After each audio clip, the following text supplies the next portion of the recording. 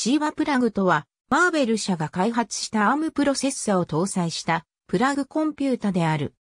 シーバプラグは1、2GHz のアームプロセッサ、Ubuntu 9.04が初期インストールされた内蔵フラッシュメモリ、ギガビットイーサネットを持っており、コンセントに差し込むだけですぐに小型サーバとして活用できる。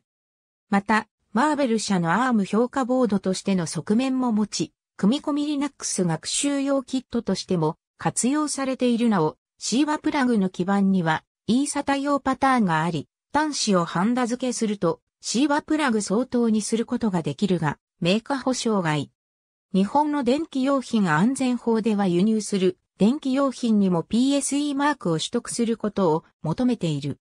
シーバプラグ本体を直接コンセントに挿すアダプタ部分について PSE マークを取得した輸入業者はないので、コンセントからは日本国内で販売されているメガネケーブルで接続する必要がある。なお、本体は情報機器なので電安法の対象品目外、製品である。この問題は原子場を含むすべてのプラグコンピュータに共通している。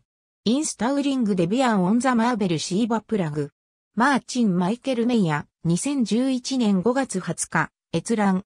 フェドラアームポートメインページ。2011年5月20日閲覧。Arch Linux ARM SheevaPlug。2012年10月11日閲覧。フリーブスドフォーマーベルアーム。2009年9月24日閲覧。フリーブスドフォーカークウッド。2010年8月17日閲覧。イクウェレックス products page。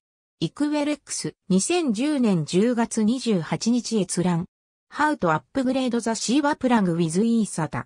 W. マークカバッキ2010年4月18日閲覧。ありがとうございます。